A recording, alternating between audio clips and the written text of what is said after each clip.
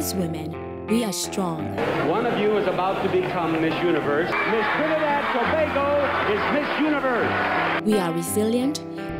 They are more accepting today, the African in us, than they used to. We are nurturing. We are going to call you Calypso Rose, which means rose is the mother of all flowers.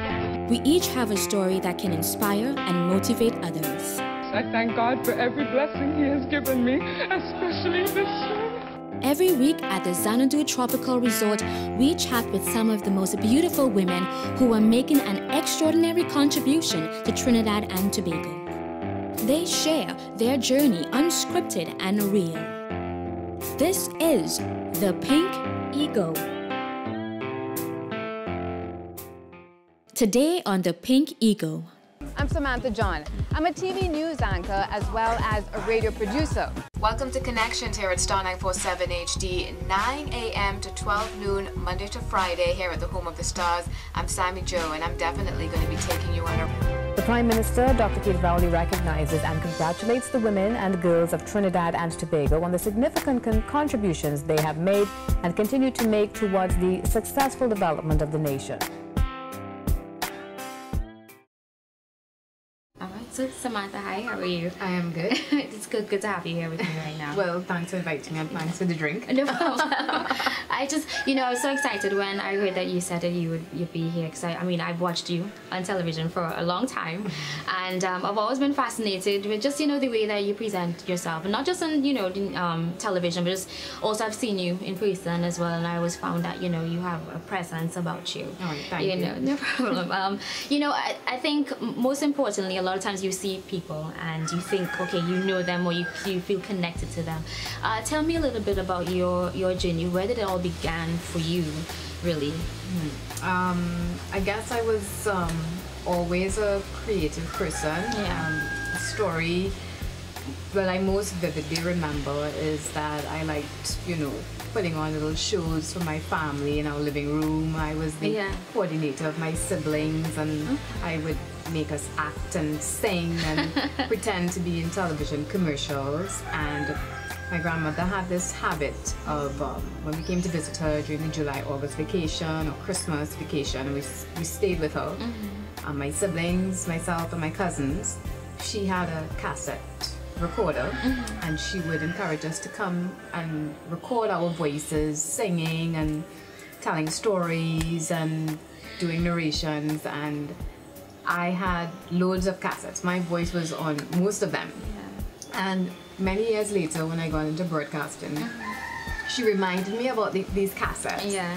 And she said she was not surprised that this is the career that I chose for myself. So that's that's like the earliest indication. Yeah. But it's an indication based on the fact that I was doing that and I was not actually encouraged by anyone mm. to pursue a career maybe in theater, to pursue a career maybe in media. Mm-hmm. So it was very strange that I was able to touch on it and then still find it without mm-hmm. being guided. Right.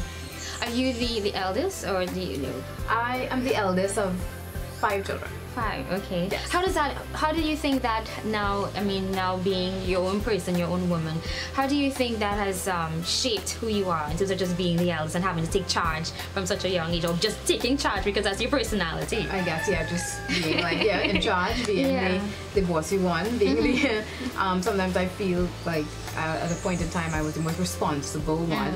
Um, yeah, but um, everybody kind of grew into their own, Yeah. so I don't really have that pressure Okay. anymore. But I've always been a person who's all who's always in charge Yeah. and take the lead. Um, sometimes I have difficulty with that with my own immediate family Mm-hmm. where I almost micromanage everything that Ah, we do. So I don't get to always sit back and relax and you know, enjoy the moments and enjoy all the, the triumphs and the goals and, and the rewards. So I have to work on that. I, I understand that completely. And I think recently I, I tried to create some more balance in, in, in my space as well because I was always like that trying to think about everything and map out everything at every point in time, you know? And it's funny that you say that too because when I was I was growing up, um, I would be the one around the house, you know, um, singing and, and all the commercials on television and whatever the case may be. So it's actually kind of funny that these childhood things kind of, even if you, you again, you haven't really been steered into that direction, it's just, you, you just, that's your passion. You that was your, yourself, yes. Exactly. So tell me a little bit about Samantha teenage, teenage years. That would be interesting. Um, I, I don't think it was that It interesting. wasn't that- It wasn't that interesting. Yeah. Um, I think I was uh, overall an, an, Yeah. you know an average student, average child. I did well in school. Mm-hmm. I could have tried harder. Um, I never I. I was involved like I was on the swim team and the cricket team for a little while. I never, I never like really Yeah. took any of those things, you know, too too seriously where I thought, hey, maybe I should concentrate on this a little more. I kind of just touched on everything. Mm-hmm. I think because, as I said, I have five children in our family, you know, it was hard for my parents to see that. Yeah. they're super focused on Samantha on this one Yeah. thing because their attention was divided. exactly. Especially being the oldest too. It's like, oh, she could, you know, she Yeah, and I was doing okay. So, Yeah. Hmm. you know, basically leave it as that. Um, I did get married when I was 18 Okay. and uh, I had my son a couple years later. Um, well, we sometime after we divorced, it didn't really work out.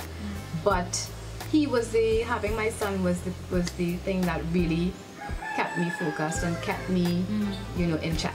Yeah. Because you're young, you're in your 20s, you're working. Um, the working environment is not always the friendliest. Yeah. So a young person would have bailed and jumped ship a long time ago. Right. And I was in the media. I knew I really loved it.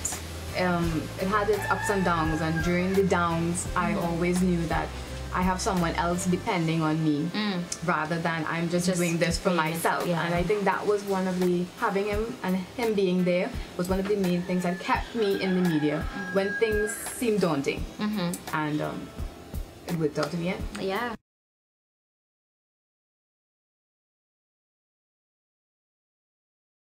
Uh, tell me about your first time, you know, doing anything within the media. Maybe uh, your first read, um, TV, uh, you know, Yeah, you news. want, me, you want me to go back like a really long time ago.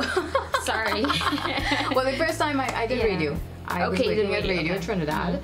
That's the AM band, not AM in the morning like some people Right, think. yeah. Um, actually, the AM band is one of the strongest bands. It Yeah. can go over mountains and reach um, different is. islands. Yeah, that's true. So we had a lot of reach. Mm-hmm. Um, I was privileged to be on Radio Trinidad because it there still were a lot of the older senior announcers working there so I got my I got some good training Mm-hmm. Yes. while I was there from Jim Sutherland Edison Carr Selma Ayi was there for a while while I was there so it was it was a great learning ground Yeah. especially since I had received no formal broadcast training anywhere so that was um, a really good place to start and I appreciate being employed at TBC at the time so from there you know i you know i had different goals and motivations. It was it was scary at first. I remember going in there was a session and they brought in they were they considered they said we need um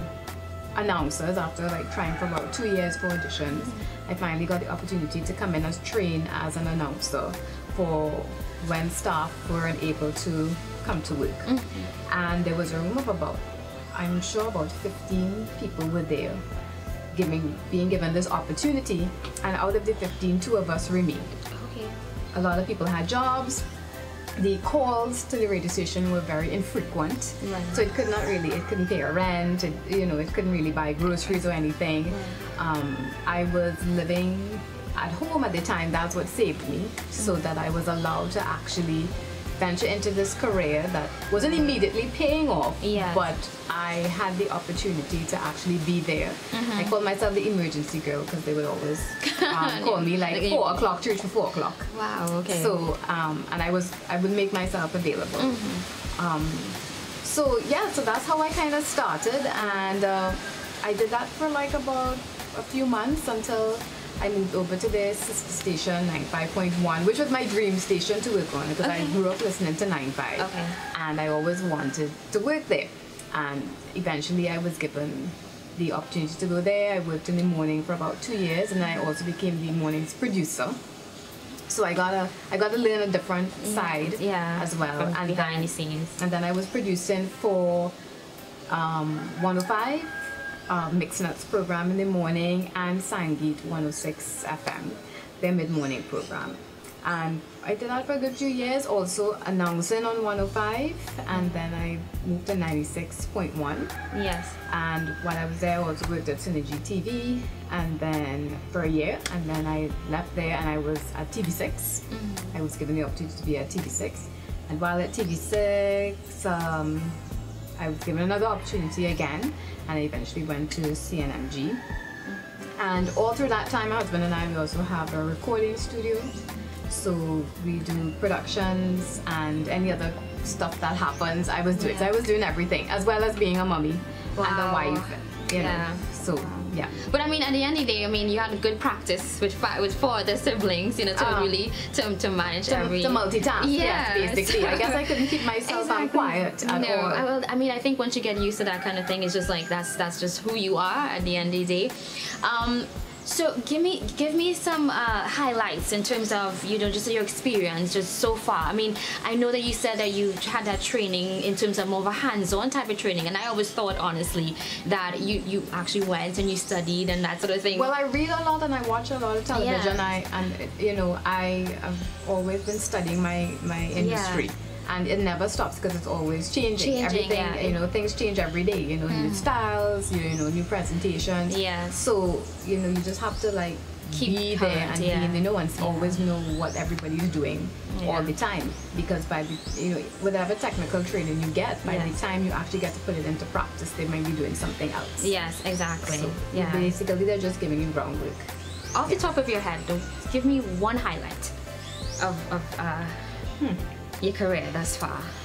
Of my career thus far, there's so many. It's like every night Yeah. was like a highlight. Mm.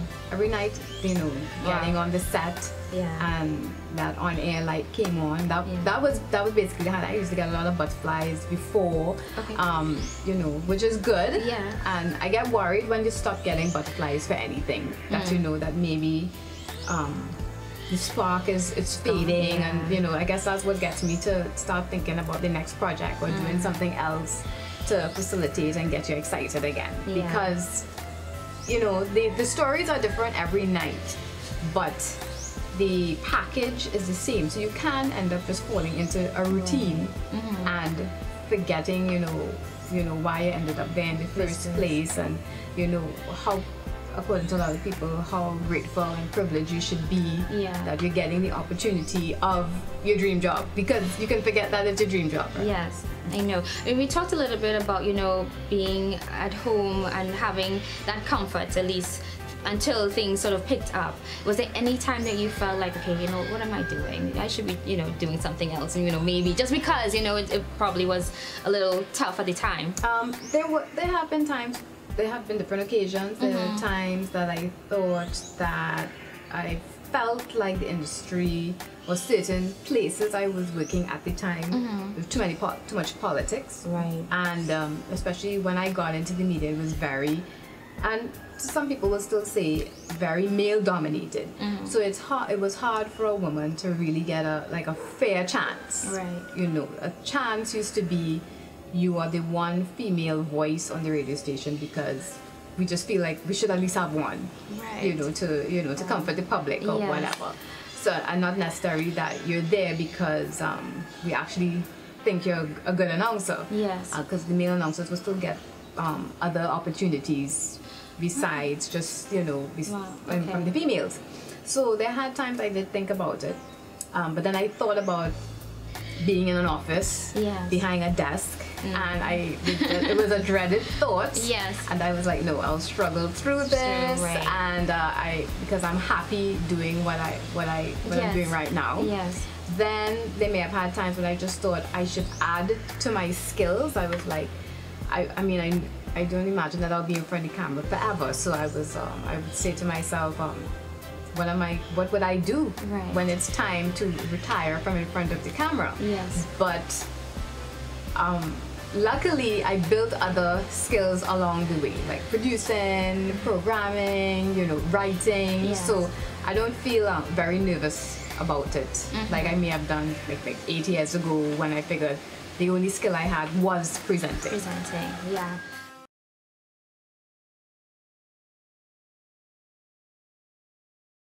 That that experience in terms of you know dealing with being on a male-dominated uh, type of field did it spark any insecurities being a woman? Because I know sometimes, and again, as you said, uh, you know, you want you want to make sure that people are respecting what you're doing. It's not just oh you're there because you're a female, but because okay you're good at what you do.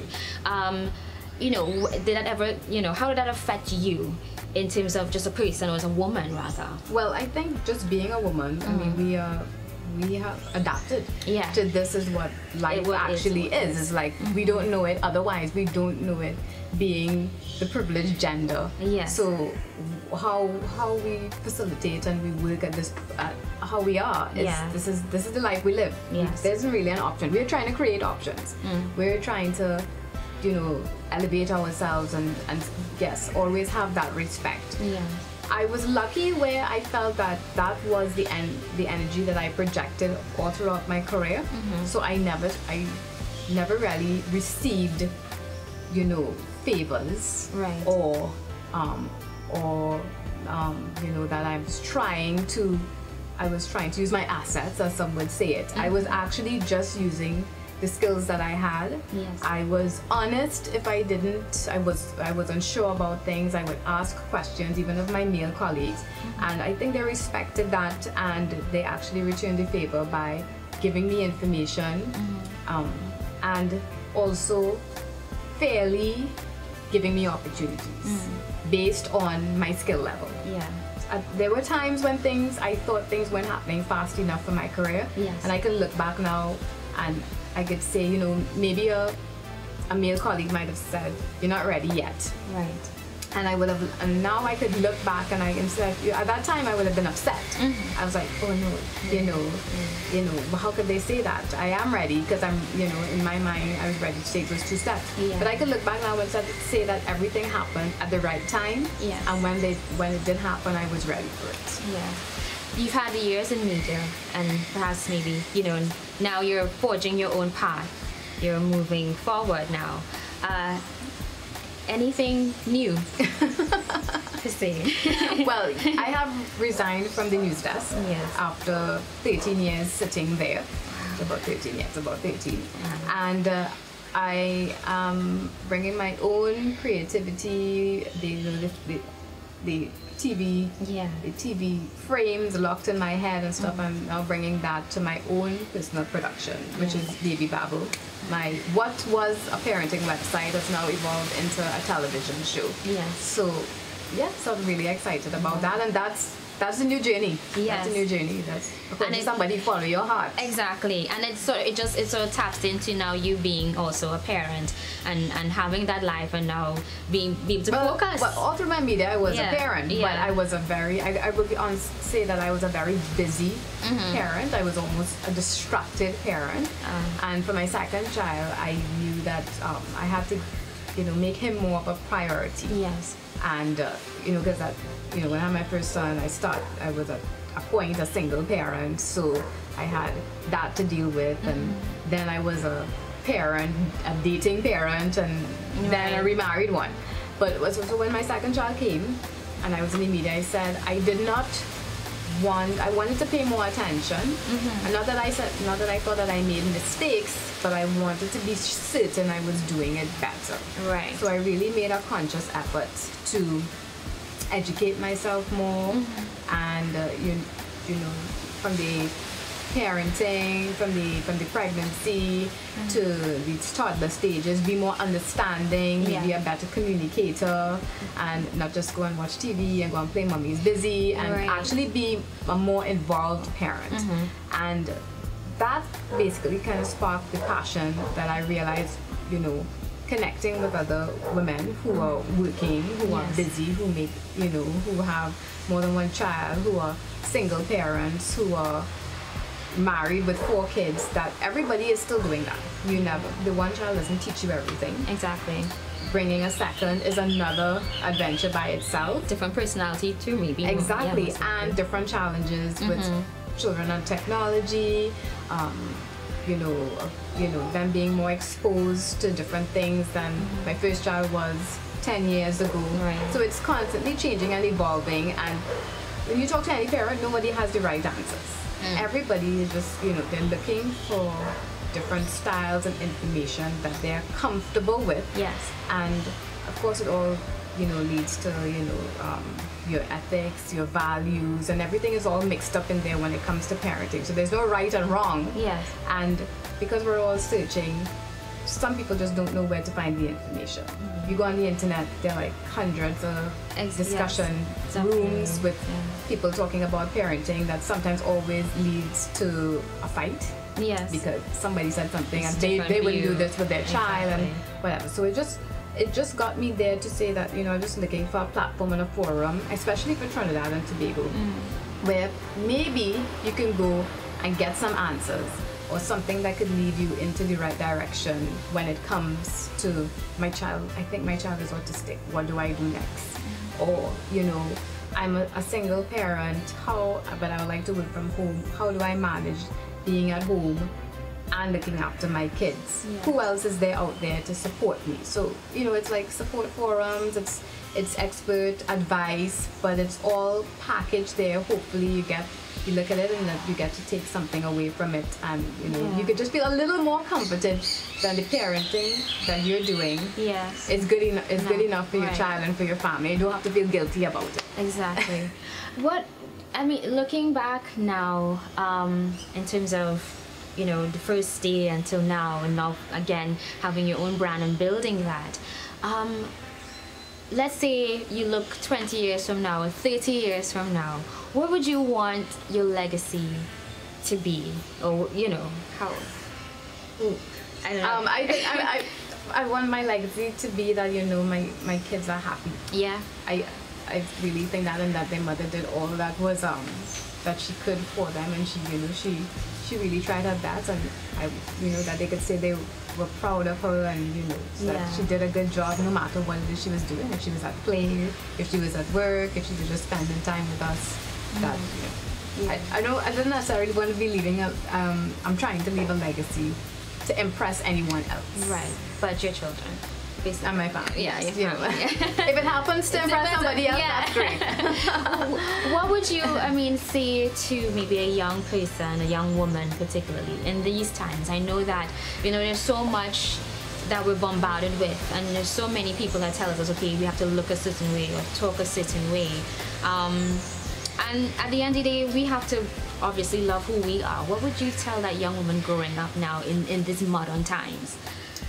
I think just really you just have to be comfortable with yourself. Yeah. You, I mean, you you know, every woman I think knows what they're about, Mm-hmm. and it's really not about impressing anyone but yourself.